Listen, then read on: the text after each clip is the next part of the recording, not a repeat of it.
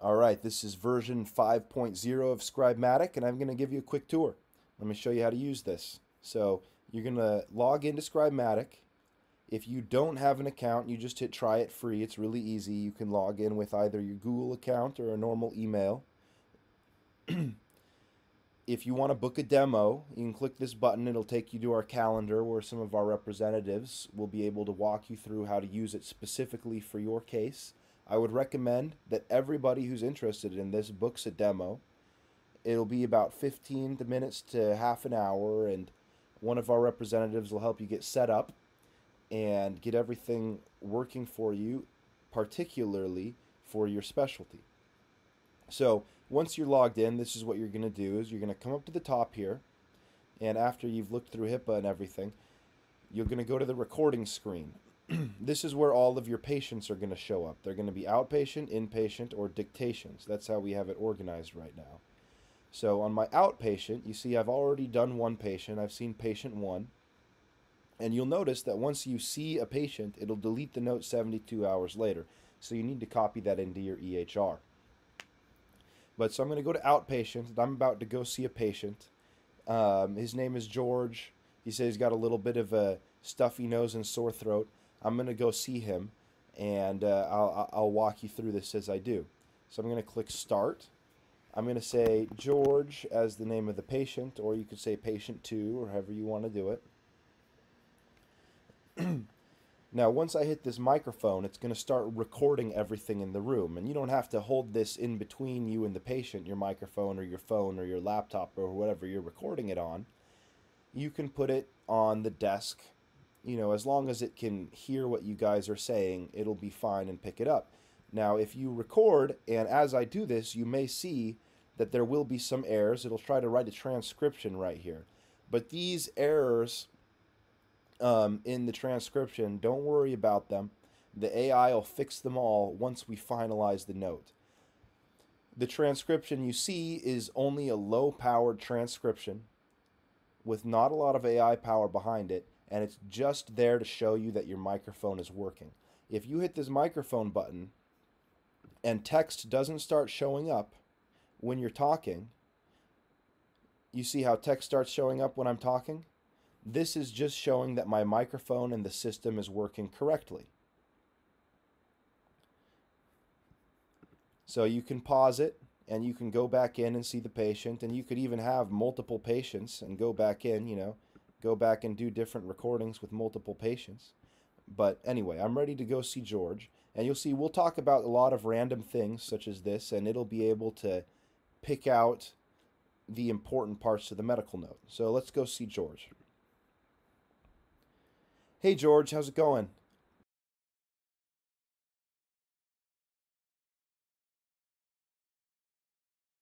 All right, sounds good. Alright, now that I've finished the note, I click that finish button, that little square button at the bottom, and then it gives me this option to finalize.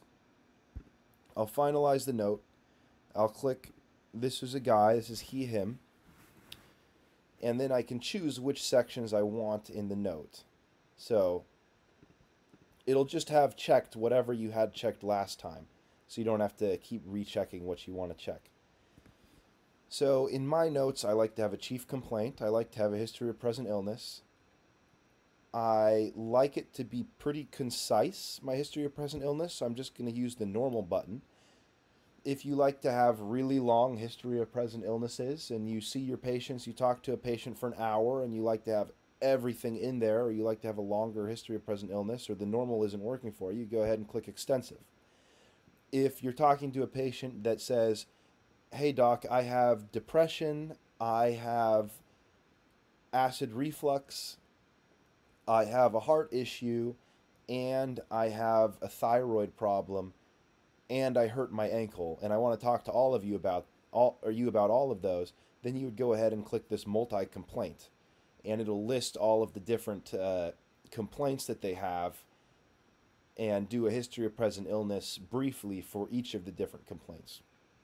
But for now, I'm just going to go with normal. I would like to just show you what happens when I click past medical history, social history, and you'll see what happens with that. Um, a review of systems. I'll do that on the next iteration. And I'll also show you an exam on the next iteration. I'm just going to want a assessment and plan and some patient instructions here. So with the assessment plan, you can either have it combined or separate. I'm just going to do combined so I have it all in one section because that's how I like to do it. But you can have them be separate sections if you want by just clicking the separate button there. So I'm going to hit submit. It's going to go through. It'll send our note to the AI and it'll take a couple seconds usually. And here's our note. So chief complains sore throat. George presents the office with a sore throat that's been present for two days. Describes the sore throat uh, not as severe, not as severe as previous episodes of strep throat. He has taken ibuprofen, which provided some relief. George denies being around sick individuals and reports living with his wife and two children who currently are not sick. He mentions feeling a little stuffy and experienced a headache. He also reports poor sleep and mild fatigue. Okay, so there's our history of present illness, past medical history.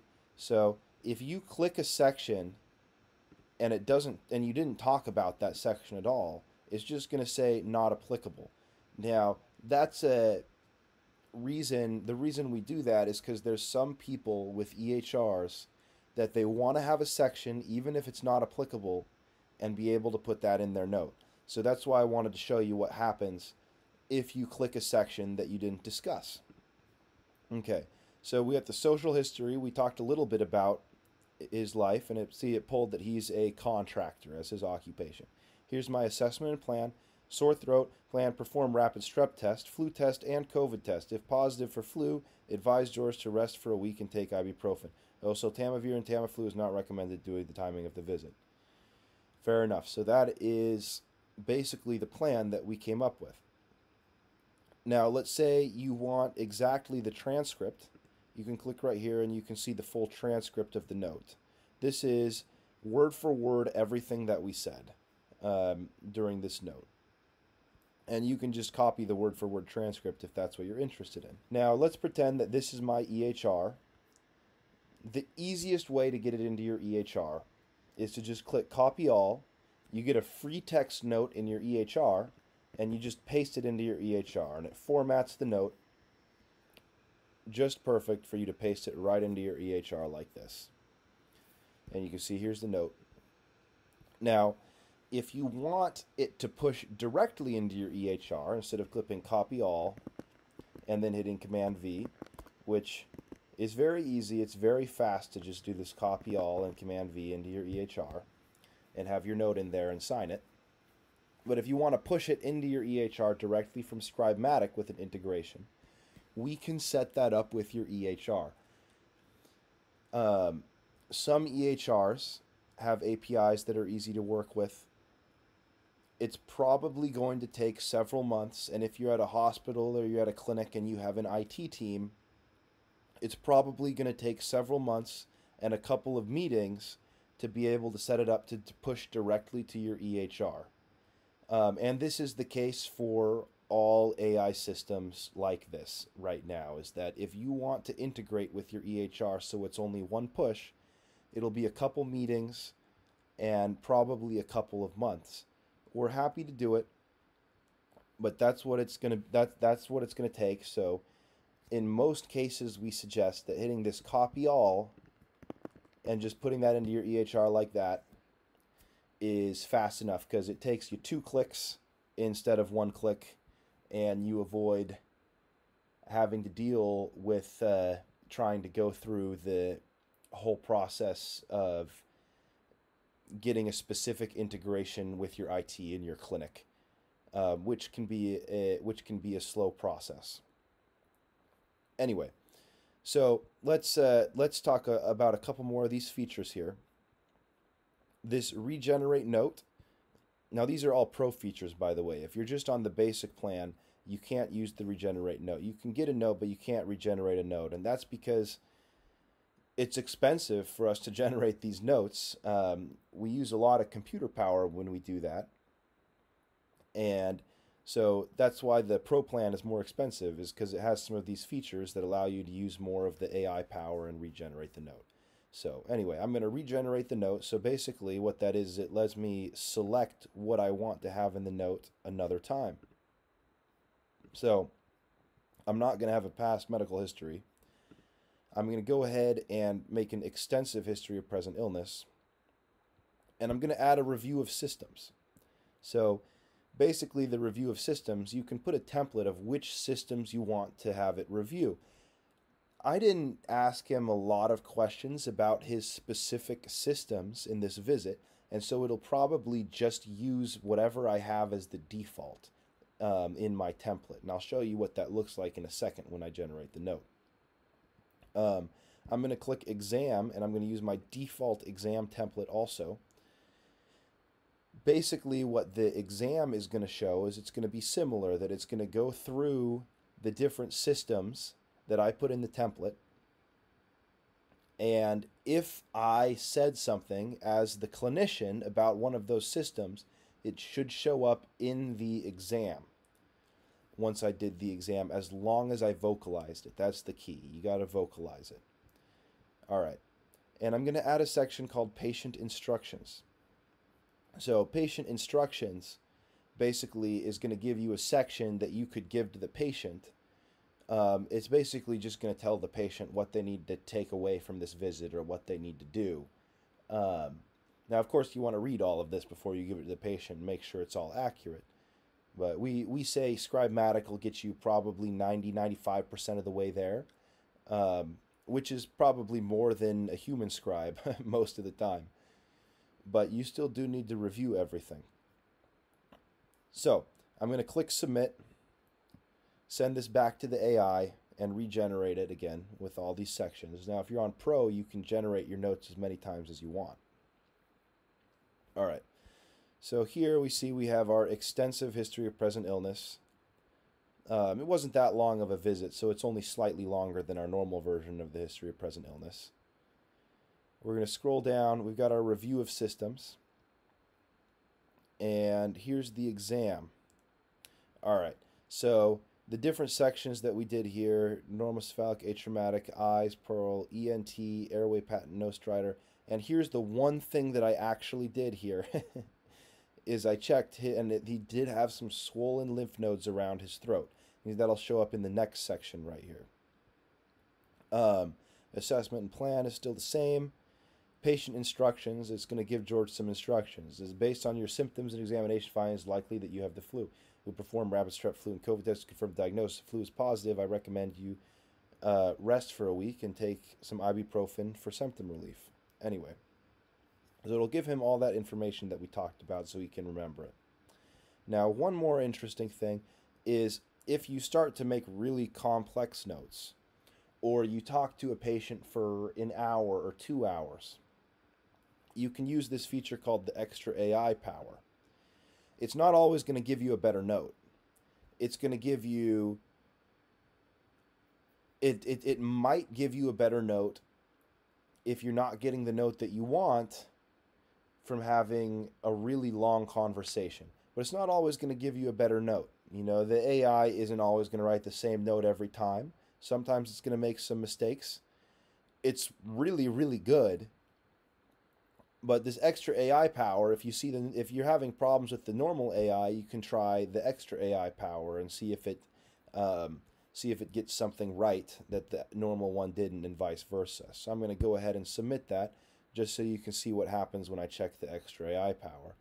And instead of taking you know three seconds like the other one, it may take a minute. It may take a couple minutes if we're going to use the extra AI power version. And so that's the biggest downside of the extra AI power. But even then, it won't always be a more accurate note either using the extra AI power. All right. So we've got our history of present illness, chief complaint, social history. Oh, it threw into the review of systems that uh, there's some fatigue and poor sleep. Perfect.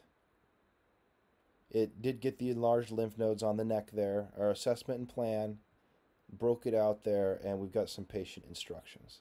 So, anyway, this is the note with extra AI power versus the normal note. And, you know, say, oh, I don't like how this note looks. Well, you got a couple options. If you don't like how this note looks or there's a mistake, you can regenerate the note again. You can pick different sections. You can switch between extra AI power and normal power. Or we have this feature here called Talk to Your Note. So a patient's male contractor presents a two-day history of sore throat. Started two days ago and has not improved. All right. Well, let's say that I'm looking at this and I think that this is wrong. It's not. It did a great job. But let's say, you know, for some reason I see a mistake or something's not written the way that I want it or the patient calls me and I want to I, I want to change something in the note or I, I call I get called back in to see the patient and want to change something in the note. Let's say he does not deny any sick contacts at home. So it says he denies any sick contacts at home. There's a little pertinent negative there. But instead of denying sick contacts at home, let's say I go talk to him again and he says, actually, um, I have four kids. They all go to daycare and they're all super sick right now. Well, I want to put that in the note. So basically, what I'm going to do I'm going to click this talk to your note and I'm going to begin this recording in the talk to your note. Change the note so that it does not show that the patient denies having sick contacts at home and let it show in the history of present illness that he actually has four sick children all going to daycare right now.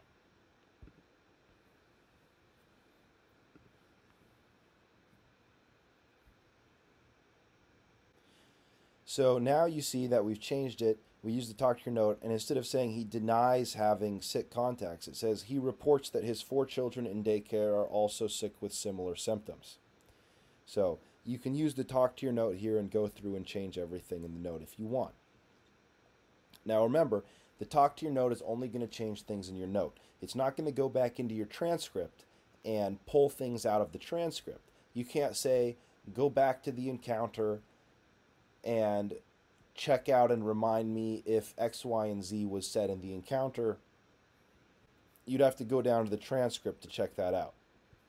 The talk to your note is only going to deal with things that are in the actual note and things that you told it in this talk to your note screen.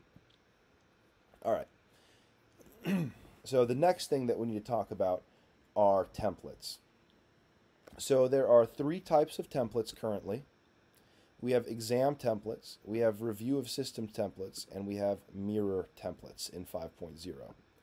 So let's start with the exam templates. In an exam, basically what you're going to do is you're going to create a template that shows the different systems you're going to check out and specifically what the default should be in those templates or those defaults should be in the exam. So it's got to look like this, general. And so the default, if I don't say anything, you can either say, you know, what you should say is well appearing, non toxic, no acute distress. Head, normocephalic, atraumatic. Eyes, PERRL, E O M I. So this is what you want to see in the default template. Now, for example, I made an ortho exam template. And basically, all I'm checking in the ortho template is external rotation and internal rotation. And these are 65 degrees, and that's, that's what I wanted as the default there. Now you can go into these sample templates. We have some sample templates in here. So for example, this is a full knee exam template. We have a stroke scale exam template, a pelvic exam template.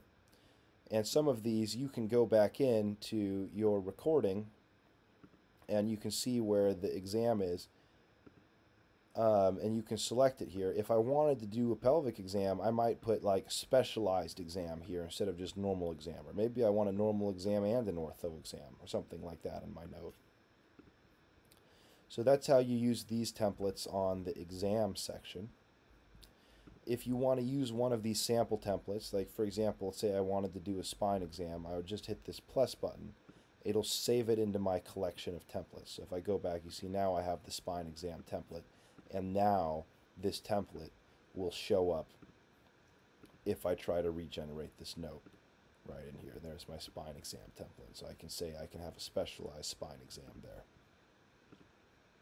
So that's the exam template.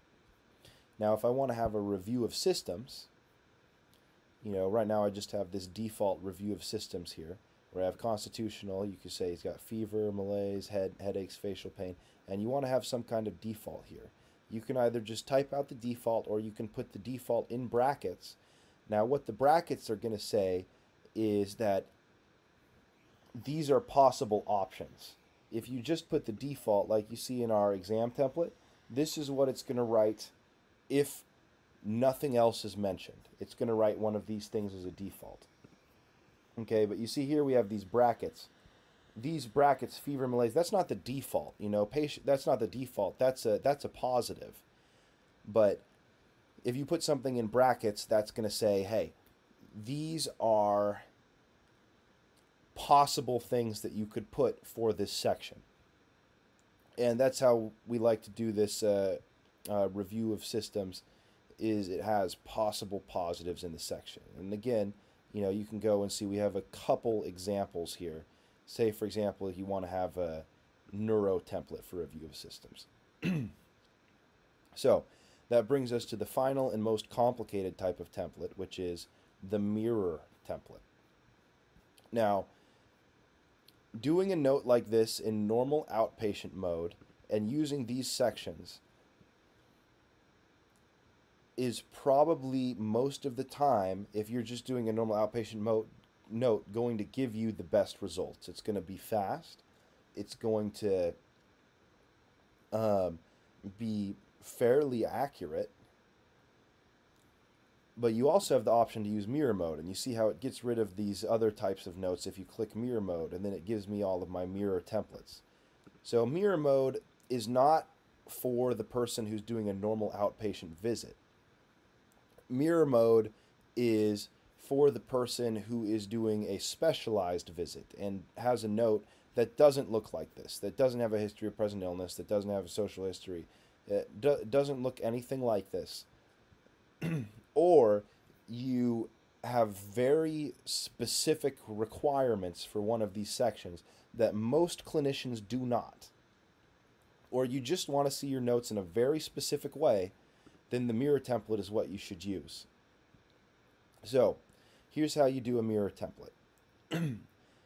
and what a mirror template is, is you are going to end up making a template, but not just for the review of systems, not just for the exam, for the whole note. And it's kind of like you want to mirror this structure of a note instead of going with the way that we normally do notes. So we have a default template, which is an ear, nose, and throat visit. And then we have some other templates, and then we have some sample templates. Let me show you. Let me show you what uh, a soap note mirror template would look like. Okay. Now, again, if you're just going to do a normal soap note, I would recommend that you use the normal outpatient recording rather than a mirror template. But just so that you can see how to make a mirror template, this is how you would do a SOAP note. So you can give commands to the AI in the SOAP note. For example, as my AI scribe, instructions are to return only the categories of subjective, objective, assessment, and plan. Now you can tell it here in the subjective section. I want detailed subjective complaints and pertinent negatives. Include review of records and studies performed prior to this encounter, including objective. Include the notes in the beginning of this section.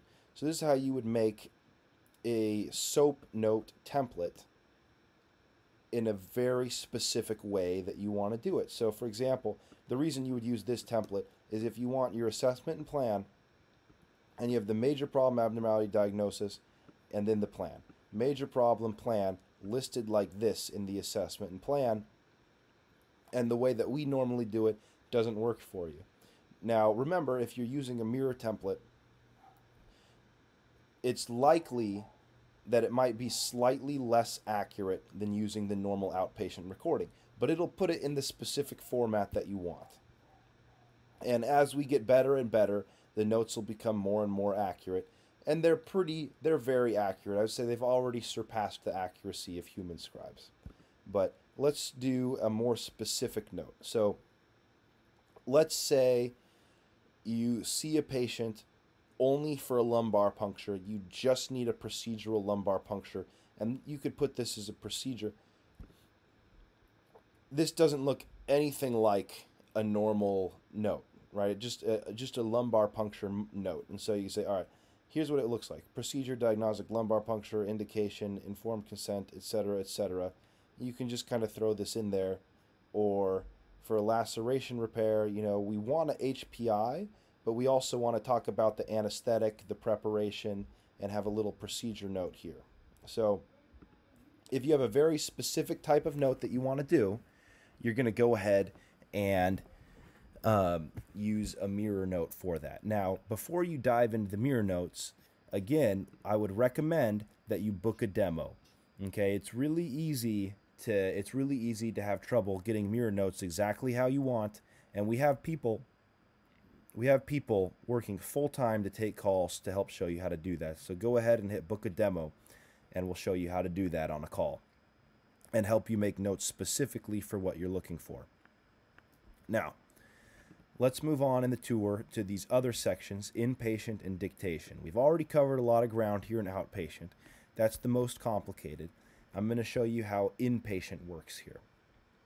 So, an inpatient note is the type of note that is made if you're going to go see a patient that probably doesn't speak back to you or is intubated or doesn't speak very much and it'll give you a very specific type of note or maybe your talk to them is very short or maybe you're rounding and you want to write a very you want to write a specific type of inpatient note and you'll see what that note looks like here.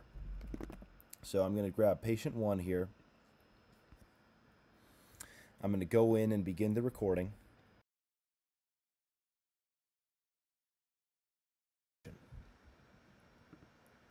all right so I went over everything that we were talking about with this patient. I hit stop. Now when I finalize, you'll see here that there's only two sections here, or you can do a mirror note for an inpatient note. It'll give you a clinical discussion and then a systems-based assessment and plan. I'm going to go ahead and extra AI power this one, and you'll see kind of what it does here. Okay, so here's the clinical discussion. Patient is X-year-old male with a past medical history significant for suicide attempt, subsequent fractures fell from a third story window. So it gives you all of the it gives you all the clinical discussion. It's kind of like a combination of some exam, what's happened in the hospital, plus history of present illness. So it's not all entirely subjective. It's the clinical discussion. Okay?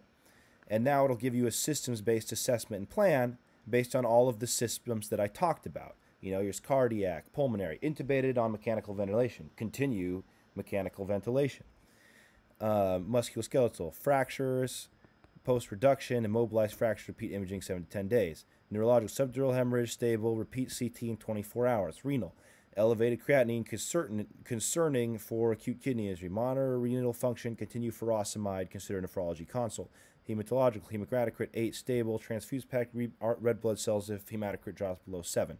Anyway, so it'll give you a systems based assessment and plan here and this is kind of the note that you would be looking for if you are a critical care specialist or a pulmonologist.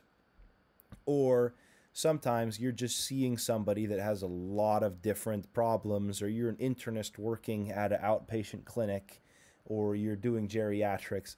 This might be the type of note that you want, and that's why you would come into this inpatient section here.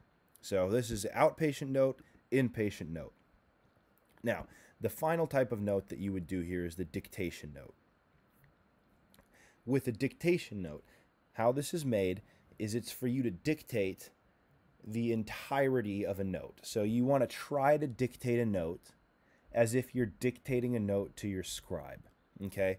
And it'll do a good job of creating a note in that section. A couple of things that you might want to do you probably want to say the name of the section that you're dictating into um, so it can at least create that section and dictate into it.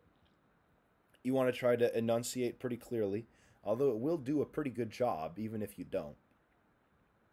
And you want to try to dictate a whole note rather than a portion of a note. I'll show you how to do just a couple lines of dictation if you have one sentence that you don't want to type and you just want to dictate one sentence.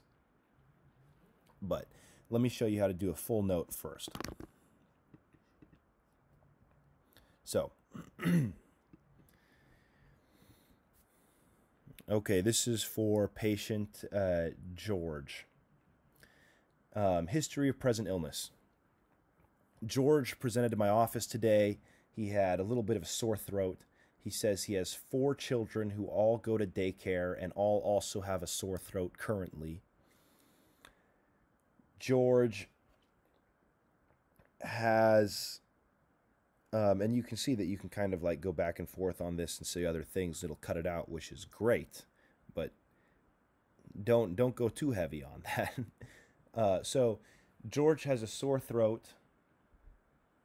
Um, George feels a little bit fatigued and he has a little bit of congestion, but that's it. He doesn't think that he has strep throat because he's had strep throat previously and his throat didn't hurt this bad. He's had these symptoms for about two days.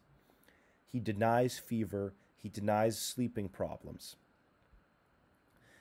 Um, let's go to the objective section. In the objective section, I just want you to make a note that he has enlarged lymph nodes. There's enlarged lymph nodes.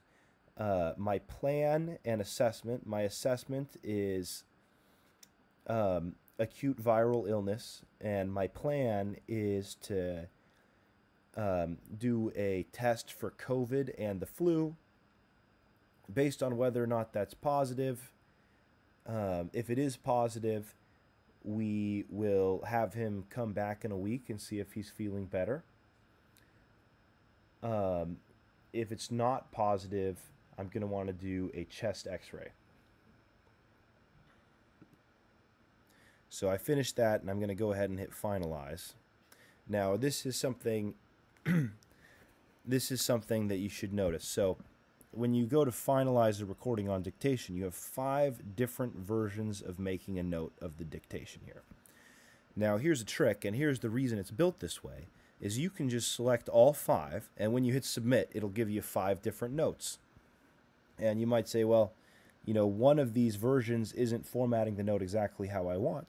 Don't worry. Just select all five, and you will get five different notes. So here's the smart dictation version. Here's the subjective, objective, and here's the assessment and plan. Here's the auto soap, where it just puts it in an automatic soap note version. George, history, of present illness, objective, assessment, plan. And we got the HPI dictation. So the HPI dictation is basically just trying to put it all into a narrative. AI decides dictation. This is the one that just gives total leeway to the AI. Make a note however you want. So you see it even put it put a follow-up section in here, even though I didn't ask for that, and that's AI decides dictation. And then the formatted dictation. This is just going to format what I said almost word for word, if possible. Okay? So if this is how how I do it when I use this for dictation is I always select all five different types of note and I just click on the note that I like the most. So I think that I just like this smart dictation the best.